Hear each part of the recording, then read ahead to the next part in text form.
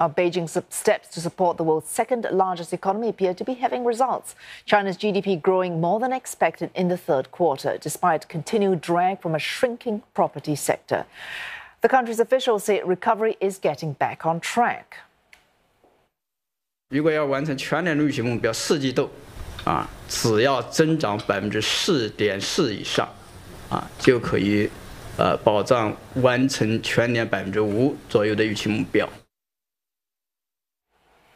A third quarter GDP expanded 4.9% on year, beating analyst estimates, but it did slow from 6.3% in the second quarter. Other indicators also reflected signs of improvement. Industrial output and retail sales in September were both better than expected, following a raft of support measures. The jobless rate was also at its lowest in nearly two years, but growth in fixed asset investment eased to 3.1% in the first nine months of this year.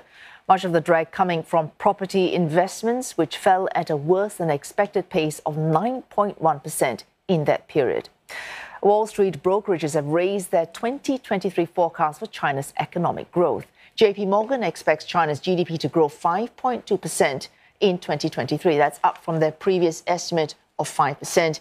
Uh, the official target, of course, uh, in Beijing of 5% as well. Nomura has raised the estimate to 5.1% from uh, earlier 4.8%.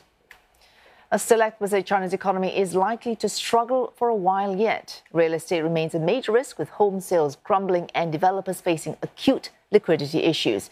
China's Country Garden has reiterated its inability to meet all of its offshore debt obligations as the grace period for a $15 million coupon payment expired. Oh, that puts China's biggest private property developer on course for its first ever default. The embattled developer says it hopes to seek a holistic solution to, resume, uh, to resolve existing difficulties. Country Garden, whose $187 billion in total liabilities make it one of the world's most indebted builders, had to pay the coupon by the end of a 30 day grace period. Failure to do so would trigger a default and restructuring. The firm has about $10 billion of dollar notes outstanding and would be one of the country's biggest ever restructurings. That threatens to send China's housing sector into deeper turmoil, as it has several times the number of projects of troubled developer Evergrande Group.